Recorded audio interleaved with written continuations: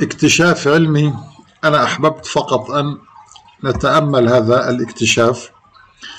ليس اكتشاف إنما هو دراسة. دراسة تقول إن عام 2021 هو العام الذي ينبغي أن يكون أكثر حرارة لأن الشمس ستكون قريبة جدا منا. ولكن نجد أن الأرض باردة والأرض لا تشتعل لا تحترق. طب لماذا؟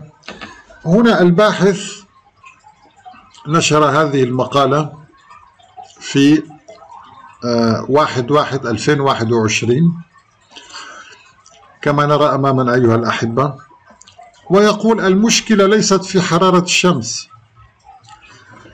يقول إن الشمس في عام 2021 ستكون أقرب إلى الأرض بنسبة 3% وهذه نسبة كبيرة جدا يعني 3% نحن لدينا البعد بين الشمس والأرض 150 مليون كيلومتر.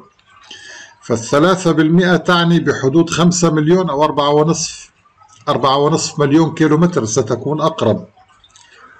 فهذه المسافة ليست قليلة. على الرغم من ذلك نجد أن محور دوران الأرض أيها الأحبة له آه، يعني يميل بحدود 23 درجة مئوية و فاصل 44 تقريبا وثلاث أرباع يعني 23.3 أرباع.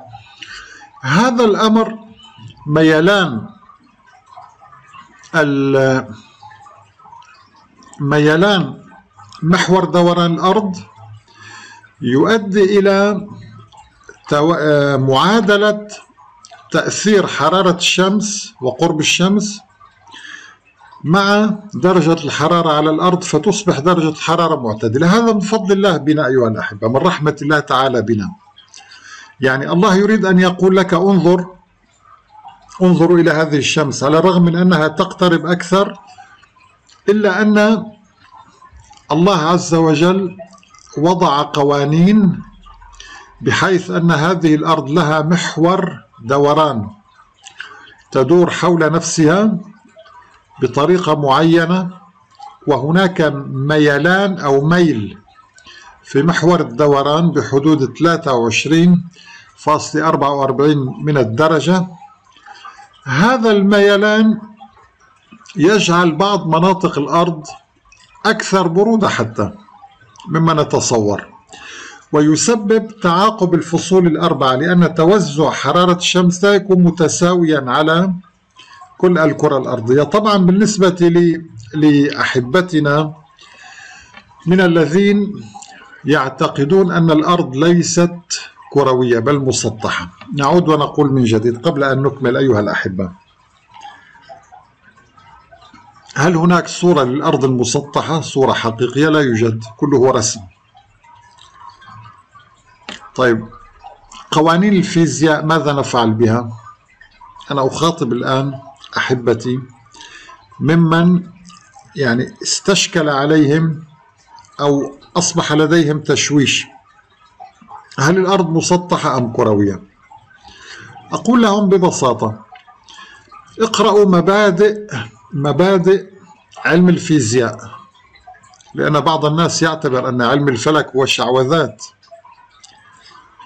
مبادئ الرياضيات. واحد زائد واحد يساوي اثنان. مبادئ علم الفيزياء القوانين التي تحكم حركة الأجسام. وهي قوانين ثابتة أيها الأحبة وواضحة ويراها أي إنسان. يأتي شخص غير متخصص يخالف كل هذه القوانين ويقول لك الأرض مسطحة. طيب كيف تأتي الشمس من الشرق إلى الغرب؟ طيب ما هي القوى التي تحكم هذه المنظومة؟ لا يوجد. طب كم حجم الشمس؟ أعطوني قياسات. لا يوجد. كم حجم الأرض بدقة؟ كم كم كم؟ لا يوجد قياسات. ثم إن هذه الأرض يعني المسطحة. إذا إذا استخدمنا موقع جوجل نستطيع أن ننتقل من مكان إلى مكان. فإذا كيف؟ تقولون أرض مسطحة على شكل قرص. طيب ماذا يوجد في الأسفل؟ ماذا يوجد في الحواف؟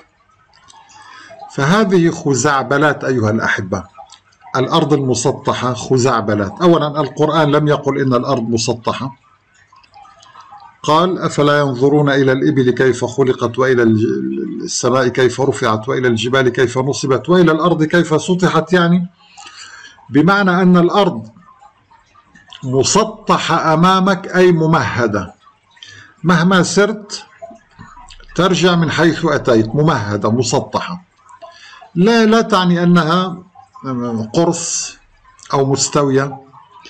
الله تعالى يقول كل في فلك يسبحون وقال أيضا ألم نجعل الأرض كفاتا كلمة كفاتا بالأساس تستخدم للسرعة. إذا أسرع الشيء وتقلب العرب كانت تقول إذا أسرع الطائر وتقلب في طيرانه يقولون كفت الطائر أي أسرع وتقلب. بالفعل الأرض تدور وهي مسرعة تسير بسرعة أسرع من الصوت 1600 كيلومتر في الساعة. في دورانها حول الشمس وفي وفي وفي حركتها حول المجرة سرعتها أعلى بكثير.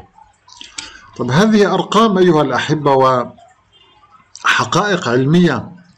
ليس لها علاقة لا وكالة ناسا هذه القوانين وضعت قبل إنشاء وكالة ناسا هذه قوانين من 400 سنة موضوعة أو أكثر من 500 سنة. ليست جديدة يعني.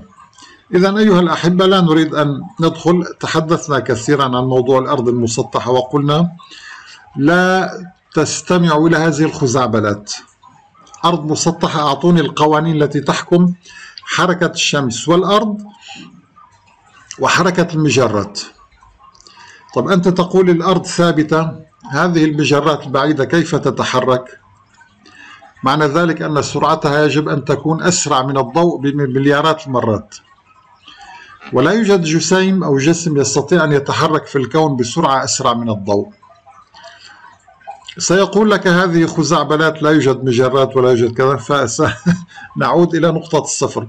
فهذا الكلام أيها الأحبة غير صحيح. المهم العلماء أيها الأحبة عندما يتساءلون عن سر توازن الأرض الله تبارك وتعالى جعل هنا الغلاف الجوي هذا الذي هو جزء من السماء الدنيا. هذه المنطقة الزرقاء هنا أيها الأحبة. المنطقة الزرقاء هذه هنا هي جزء من السماء الدنيا وهي الغلاف الجوي. هذا الغلاف قال الله عنه وجعلنا السماء سقفا محفوظا وهم عن آياتها معرضون. محفوظا برعاية الله بقوانين سخرها الله لتحفظ هذا الغلاف الجوي وتحفظ الحياة على ظهره. وكما قلنا الغلاف الجوي هو أقرب السماء إلينا هو جزء من السماء. يعني عندما يقول وجعلنا السماء ماذا يعني بذلك؟ السماء تمتد من فوق رؤوسنا إلى أبعد مجرة. هذا هي كلها سماء دنيا. كلها محفوظة بأمر الله بسبب قوانين الجاذبية والقوانين التي آه، سخرها الله سبحانه وتعالى ل آه، يعني معرفة لمعرفة أسرار هذه الأرض. أيها الأحباب